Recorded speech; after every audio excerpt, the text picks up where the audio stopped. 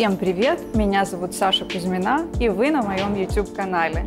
Сегодня мы снимаем в другом формате интервью в Тель-Авиве в Coworking Space Soft. Всем привет! Я Валерия Свирская, и сегодня я буду интервьюировать Алекс. Алекс, привет! Привет, привет! Спасибо, что пригласила меня на свой канал. Спасибо, что пришла. Расскажи, пожалуйста, немного нашим зрителям, о чем мы сегодня будем разговаривать. Да, я уже вначале сказала, что у нас сегодня будет формат интервью, и я решила, что эм, мой лайфстайл может быть интересен кому-то. И сегодня мы немножко поговорим о том, как найти себя в IT, как найти себя в целом в Израиле после того, как ты эмигрируешь в новую страну. Я вам расскажу сегодня пару секретов э, своих, и я думаю, что кому-то это может быть полезно. А, от себя добавлю, что я тоже работаю в IT, я контент-маркетолог, поэтому, возможно, мы с Алекс будем обмениваться какими-то специфическими терминами, но мы обязательно их все расшифруем и куда-нибудь добавим на картинку. Алекс, давай начнем с основ. Чем ты сейчас занимаешься? На сегодняшний день я групп-менеджер Head of Support в компании Yotpo. Грубо говоря, я занимаюсь техподдержкой, если в двух словах, да.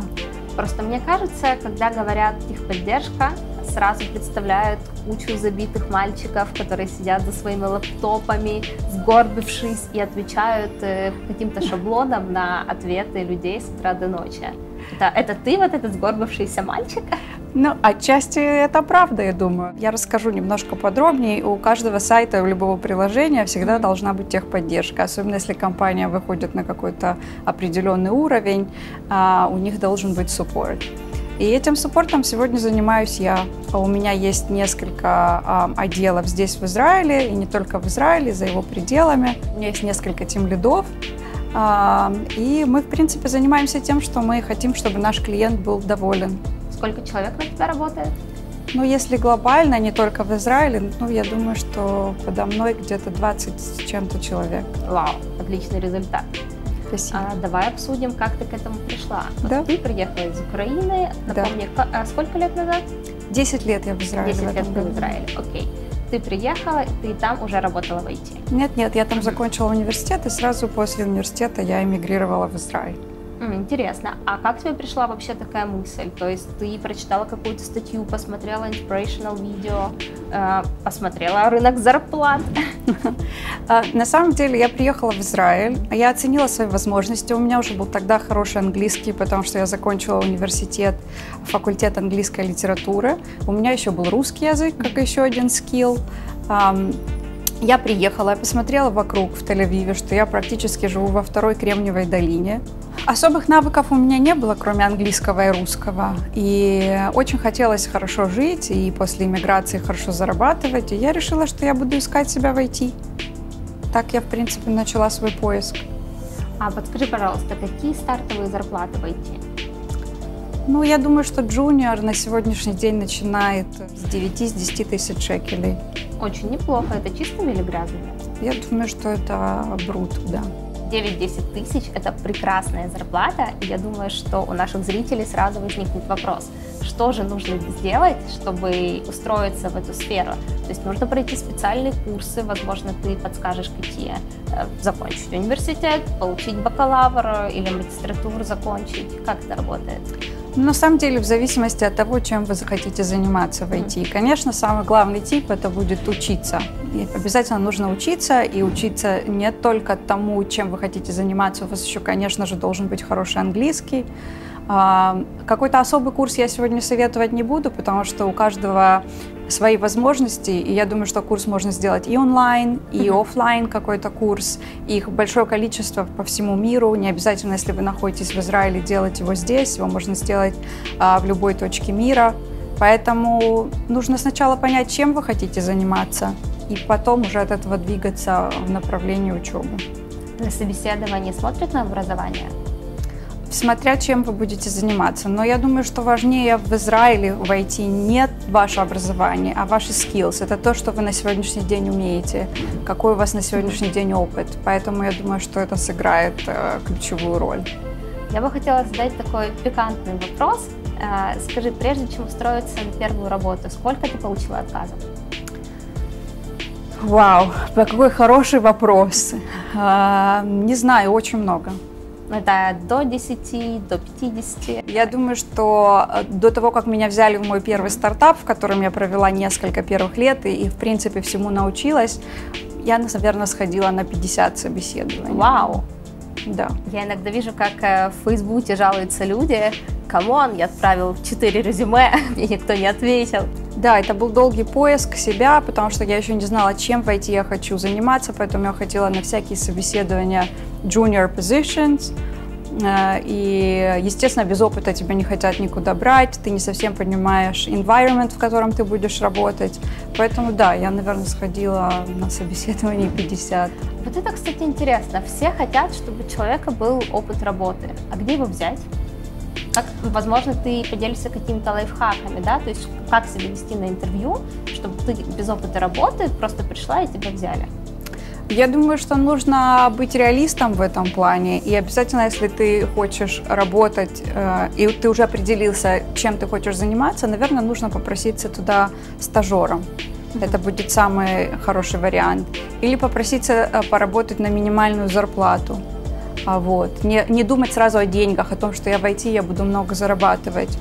А вот. И я думаю, что таким образом можно найти свою работу. Если рассказывать про мой пример, я в своем первом стартапе занималась не только суппортом, я и делала всякие организационные моменты, я просто хотела быть в этом.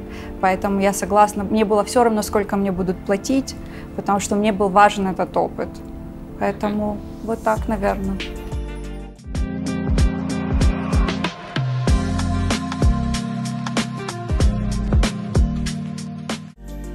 Расскажи о своих коллегах. А кто эти люди, которые работают в IT-сфере? Потому что, мне кажется, там по разным сериалам, типа «Теория большого взрыва», кажется, что это все такие мальчики, ботаники, которые сидят в халатиках, э, храпят над какими-то схемками. Ты знаешь, наверное, есть и есть. Мне кажется, что люди абсолютно разные работают в IT, и зависит от того, чем ты занимаешься. Возможно, ты программист, возможно, ты делаешь QA, возможно, ты работаешь в маркетинге, и у тебя абсолютно креативная должность. Поэтому есть абсолютно разные люди, и и это самое прекрасное, что может быть э, в IT, что работа очень многогранная на самом деле. Но в основном это парни или девушки? А, на сегодняшний день, к сожалению, конечно, это большинство, в большинстве, наверное, мужской коллектив. И ребят, к сожалению. Ребят, конечно, больше. Мне бы хотелось, чтобы было и девочек больше. Я вообще за um, equality. А вот. есть сложности с этим? Ну, наверное, если я тебе скажу, что нет, я тебе, наверное, совру, потому что... Да, какого рода сложности? Возможно, какую-нибудь ситуацию можешь привести, там, не называя имен и компанию. Ну, наверное, на сегодняшний день ни для кого не секрет, что мужчины и сегодня, в 2021 году, все равно зарабатывают больше. И, к сожалению, на одних и тех же позициях мужчины часто зарабатывают больше. И мы, конечно, за это все дело боремся. Вот, поэтому, наверное, ничего нового я тебе здесь не скажу. Но были какие-нибудь случаи харасмента или буллинга, потому что ты девушка, или, может быть, потому что ты молодой специалист? А, нет, мне, наверное, не придет в голову какая-то определенная история. Я тебе просто расскажу, как я ощущала себя все эти годы. Ты чувствуешь, что тебе нужно себя доказывать. Тебе, mm-hmm. Ты чувствуешь, что нужно доказывать свои интеллектуальные способности всегда. И это как-то а, не совсем на поверхности, но оно всегда в тебе сидит. И, и ты как бы делаешь, что же называется extra mile, чтобы показать, что ты действительно знаешь, что ты делаешь. Саш, а подскажи, пожалуйста, может быть, э, в твоей сфере а, есть такое понятие, как э, личный бренд, и к специалистам даже женского пола с э, сильным прокачанным личным брендом относятся как-то по-другому. Э, есть вообще такое, что какая-нибудь звездная девушка или звездный мужчина с прокачанными соцсетями, возможно, своими курсами? Конечно, есть. А, это меньше в суппорте, где я работаю, но, скажем, в маркетинге очень важно. То есть очень часто есть такой стереотип, что если ты менеджер, у тебя не должно быть там соцсетей, и лучше как бы скрывать свою личную жизнь. Вот. А мне кажется, если ты работаешь в маркетинге, то наоборот, э, твои соцсети, они только сыграют тебе на руку, когда будут искать тебя в социальных сетях перед э, собеседованием. Кстати, это очень важный момент. Вас всегда ищут в соцсетях перед тем, как вы приходите на собеседование. На какие соцсети обращают внимание? Я думаю, что на все, но на сегодняшний день есть платформа LinkedIn, в котором тебя обязательно проверят перед собеседованием, в котором ты можешь подробно написать о своем опыте или о своих желаниях, если опыта особенно э, нет. Это, кстати, хороший тип. Если опыта особого нет, напишите на своем LinkedIn, что вы очень хотите делать вот это, вот это и вот это. Мне кажется, что любой работодатель, увидев это, скорее всего, захочет хотя бы с вами поговорить. Хм, интересно. А кроме LinkedIn, может быть, есть какие-то лайфхаки, типа метапов, каких-то конференций, где можно узнать побольше? А, возможно, ты порекомендуешь нашим зрителям подписаться на какие-то рассылки или медиа? Но если мы говорим исключительно про Израиль, есть прекрасная платформа Secret Tel Aviv, в котором а, а, постят периодически классные работы, классные позиции для джуниоров в том числе. А, у нас есть Google Campus здесь, в Тель-Авиве, а, в котором проходят разные конференции. Которые... Да, кстати, состоит там. Да, да, вот видишь.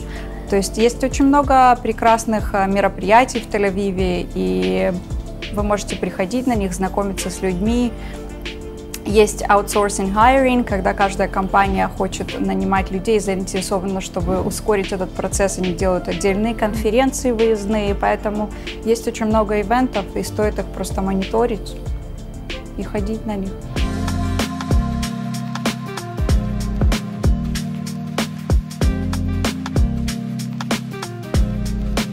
Саш, давай обсудим карьерный рост в IT сколько примерно займет времени пробить вот этот потолок в 9-10 тысяч и перейти из джуниор позиции в какую-то уже более основательную?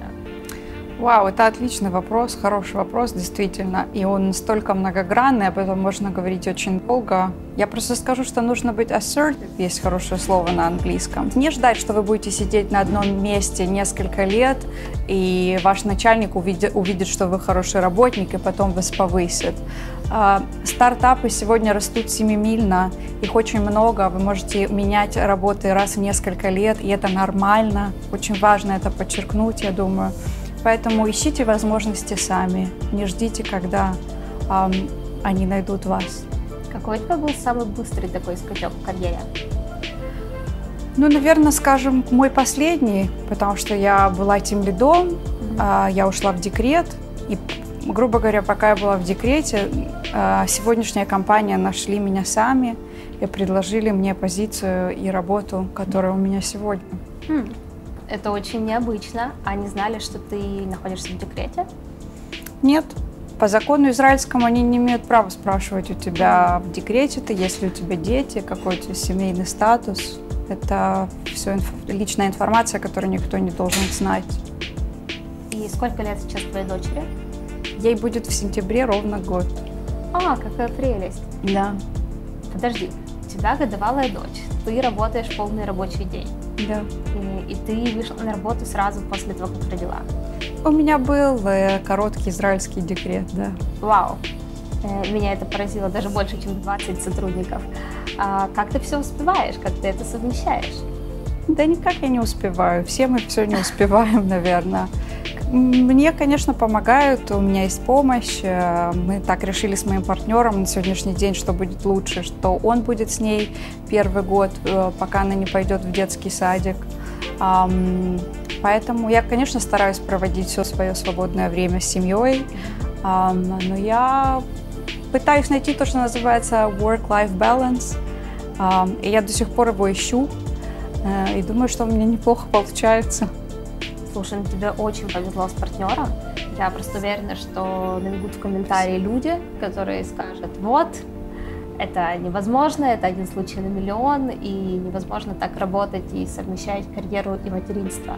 Вот что ты об этом думаешь? То есть, допустим, твой бы партнер отказался сидеть дома с ребенком сказал, я там, у меня свои дела. Я бы нашла какой-то выход этому. Мне кажется, что есть э, море вариантов на сегодняшний день. В Израиле садики есть с трех месяцев, и э, все женщины, которые хотят работать, этим пользуются. Э, есть варианты. Как примерно устроен ваш день? Мы встаем в 6 утра, когда встает наша дочь. Первые несколько часов мы проводим вместе. К 9 утра я, как правило, начинаю работать. Работаю полный день до 4. В 4 я всегда прихожу домой, и я хочу несколько часов последние, пока моя дочка не ложится спать, проводить с ней. Вот, в 7 я кладу ее спать, и потом еще с 8 до 9, как правило, час-другой я работаю. Саша, ну вот тебя послушать, у тебя просто дом, работа, дом. А остается ли время на себя? Ты прекрасно выглядишь. Спасибо. А, ты завела YouTube-канал, ты по-любому еще куда-то ходишь с друзьями, у тебя есть свои увлечения. Вот расскажи, как такое плотное расписание можно все это уместить? Это хороший тайм-менеджмент. А, и я пытаюсь совмещать какие-то вещи. Естественно, с моим YouTube-каналом а, мой бойфренд, мой партнер, он мне очень тоже помогает. А, мы делаем все вместе. Мои родители здесь, в Израиле, они мне тоже э, помогают с дочкой. Поэтому это все приоритеты. И, как вы видите, все. Ребенку нужно давать по потребностям. И я считаю, что я достаточно времени провожу со своей, со своей дочерью.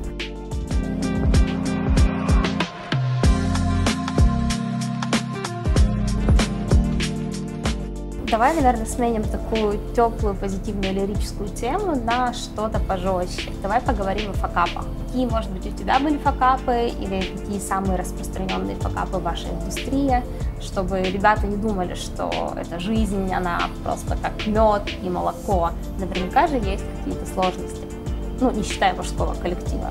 Конечно, сложности есть. Сложности есть в любой работе. И, конечно, все привыкли видеть э, своих сотрудников такими social butterflies, такими людьми с неиссякаемым ресурсом, скажем, который имеет свойство заканчиваться. Поэтому это может быть очень утомительно. Работа в IT с первого дня, как я начала, э, я практически каждую неделю что-то учу. Я постоянно учусь, я нахожусь в постоянном поиске каких-то новых знаний. А, нужно держать себя приходится работать с разными людьми, с разными э, personality, с разными обстоятельствами. Поэтому мое главное правило на работе, я ни из чего не делаю драму. Какая бы ситуация ни происходила, какой бы инцидент технически у нас не происходил, мы его решаем все вместе, мы делаем всегда после этого постмортем, мы смотрим, что мы можем э, из этой ситуации извлечь, чему мы можем научиться и продолжаем дальше. Мне кажется, это самое главное правило работы в IT. Саш, ты, конечно, очень толерантно ответила на вопрос, но, может вспомнишь какие-нибудь пикантные моменты? Ну, прямо из такого жесткого. Когда-то, помню, у меня на собеседовании спросили, еврейка я или нет. Здесь, в Израиле? Ну да, здесь, в Израиле. Прекрасно. Или, да, я помню еще когда-то у меня спросили, мне не спросили, мне сказали, а, ну вы русские все хороши в математике. Вот такое, я помню, такой комментарий. Ну, это скорее приятно. Да, и, и, и обобщающе, да. Еще когда-то помню, у меня спросили, собираюсь ли я выйти замуж в ближайшее время. Вот так тоже очень, я считаю, unprofessional и вообще противозаконный вопрос. Но проскальзывает, проскальзывает такое. Да? Угу. Я поняла тебя. Слушай, ну, спасибо, мне кажется, мы интересно поболтали. А, ребят, если у вас будут какие-то вопросы к Саше, обязательно пишите их в комментариях. А напоследок было бы здорово, чтобы ты дала какой-нибудь вот или напутствие, да, или поделилась какими-то ключевыми советами для тех, кто только начинает свою работу в IT? Да, я думаю, что главное напутствие будет определиться, чем вы хотите в IT заниматься, и расслабиться, и понять, что это тоже не вечно, что через пять лет вы можете заниматься чем-то другим. Сегодня вы будете работать в суппорте, а через пять лет в маркетинге. А сегодня вы можете быть программистом, а еще через несколько лет стать продукт-менеджером. Все очень динамично, и вы можете сами выбирать, чем вы хотите заниматься. Главное а, быть амбициозным человеком, знать, что вы хотите, и двигаться в этом направлении. И не забывать про LinkedIn, потому что это главная платформа для поиска работы в IT. Ну а если action items, то что конкретно нужно делать? Первое – это возьмите какой-то курс и поучитесь. Второе – обязательно предложите себя в качестве стажера. Если вы не уверены в своих способностях, пускай вас научат. Не думайте о деньгах, деньги придут потом. И третье, наверное, это social networking. Подумайте, где работают ваши друзья. Может, кто-то может передать ваше резюме, может, кто-то может вас отрекомендовать. И ходите на разные ивенты, которые происходят здесь, в Тель-Авиве, все время. Спасибо, что досмотрели это видео до конца. Ставьте лайк, колокольчик, подписывайтесь на мой канал, если вы еще не подписаны, и напишите в комментариях свою историю поиска работы. Самая интересная история получит от меня приз. Участвовать можно из любой страны. Пока, до новых встреч!